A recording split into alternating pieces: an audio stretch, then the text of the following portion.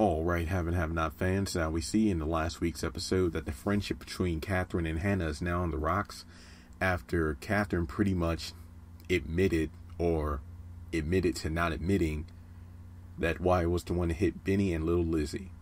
Now, this episode really brought out some interesting facts about the two characters, and I believe I said this in one of my prediction videos that the highlight of the episode for me would be Hanna and Katheryn finally talking about the elephant in the room, being that Wyatt was the one to hit Benny, but Katheryn never up upright said that, hey, my son was the one to hit your son.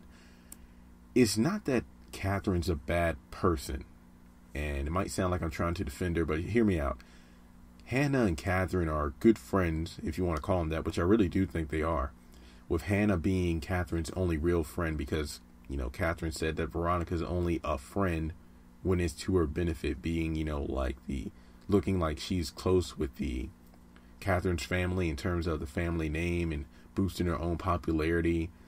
And whenever she has a problem, she's there to talk to Katheryn about her issues with the Harrington household, but she's never really there to help out Katheryn with her own and then you have you know Jim being a cheating husband, and then her kids not loving her at all, with you know Amanda lashing out as soon as Candace dug her claws into her, and then Wyatt just being well Wyatt, and Hanna was the only one there for, especially if you look through the, her battle with cancer back in season one, and then you look at season three after Amanda died, that Hanna was there for her every step of the way. Season two was where the friendship first got on the rocks in terms of Hanna suspecting, or according to Katheryn, Hanna knew that Wyatt was the one that hit Benny, but she never outright right said it. So Hanna was pretty much season two. I feel like season two was Hanna on defense the entire time because she didn't know who she could trust. And with Byron being the only one she opened up to, but it turns out he was a snake in the grass, that just really made Hanna defensive on all ends to everybody with her caring about Benny and lashing out at anybody else, and for good reason, given the fact that her world or in anyone she can trust or she thought she can trust turned out to be two faced and lying like Byron, Celine, and the list goes on. And when you look at their background, you know, Hanna and Katheryn came from two different sides of the tracks where honesty for one for Hanna might not mean the same thing to Katheryn, being that Katheryn was always defending herself in the last episode, saying that, hey, there was no need, in no unspoken terms, this is literally what she was telling Hanna, like, hey, there was no reason for me to admit that Wyatt was the one to hit your son because you already knew that Wyatt was guilty. But she did try to cover it up. Jim th- tried to make Hanna think she was crazy and, and almost threatened her, you know, saying that, hey, just be careful out there, it's not safe. Uh, that was the episode where Celine and Hanna got into a cat fight. Then Jim came down to talk to him, uh, Hanna about it. And then after the whole Norman Hewins thing went down, that's when Hanna went back to the Cryer estate to say, "Hey, I'm sorry. Please forgive me."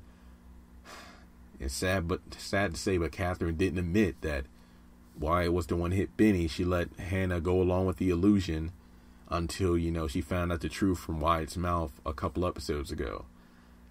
Now, you just have to look at their friendship in terms of they have each other's back.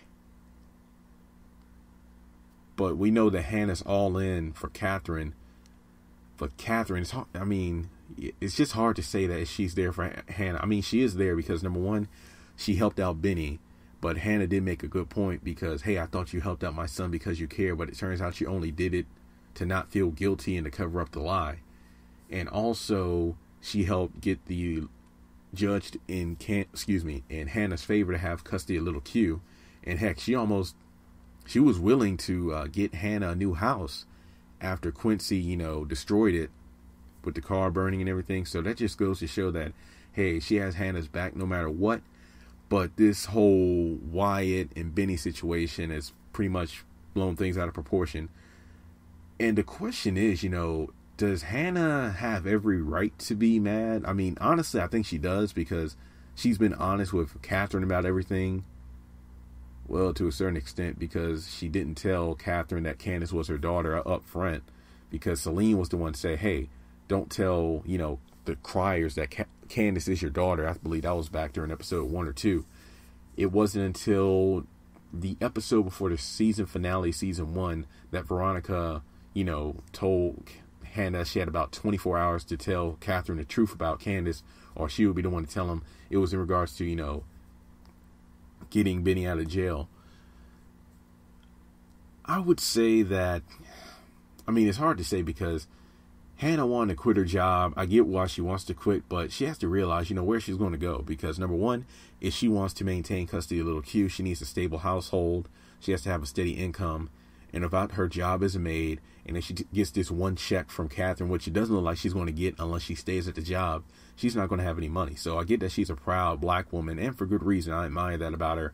But sometimes that pride blinds her to what's right in front of her, being that I get that she's a woman of faith, she's an independent, strong black woman, but she has to realize but she doesn't she doesn't cut corners. I will say I admire that about Hanna. She doesn't cut corners in terms of taking the easy way out because she knows that's not the right way and that's going to come back to haunt her. So with that being said, I will say this much. I think that the friendship is on the rocks for sure. I hope that Katheryn learns that, you know, as Hanna says in the next episode, this is probably one of my favorite quotes from the entire series. The problem with I can't even get it out because it just has me so it's just so amazing and Crystal Fox just, you know, nailed it when she said this in a preview for next week. That's the problem with being rich. You know, you rich people can buy anything you want, but you got to beg for what you need. So I really hope that Katheryn takes some real spirit. And that's what I love about Hanna. She's like that spiritual aspect to the Cryer family, giving them the one thing they don't have, but they desperately need, which is that faith, that spirit, that, you know, fear of God in reference to all the underhanded things that they're doing. So do you think that the friendship between Hanna and Katheryn can be mended. Uh, you know, will Hanna stay at the job? Will she quit? I really hope that we figure out something before the season finale. If I'm not mistaken, next week is going to be the episode before the mid-season finale. So there is, I don't think there's time to fully mend everything. I just want to see if there's going to be some kind of resolution to their friendship. And I'll say this much if things don't get resolved within the next couple of episodes, I bet that when the second half of season four comes out, it's going to be some dramatic event that will make the two kind of join forces once again because they need each other, whether or not they admit it. Because Katheryn, well, Katheryn flats out, flat out admits that, hey, without you, I don't know what I want to do. That's why she's so adamant on Hanna not quitting. Hanna's pretty much thrown her hands up for a good reason because, again, everybody who she thought she can trust turned out to be Two Face. Uh, David, Jim, Katheryn, then Veronica. It's just the list goes on. So she, she has every right to not trust anyone, but at the same time, she has to realize that she needs to do something in order to maintain custody of little Q. So that being said, uh, let me know in the comment section below what you think about the friendship between Katheryn and Hanna. Will the two, you know, make amends, or will the friendship be gone for good?